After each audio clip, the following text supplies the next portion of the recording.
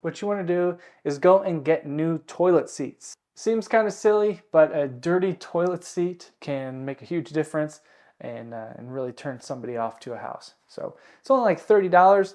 Get a nice automatically slow closing toilet seat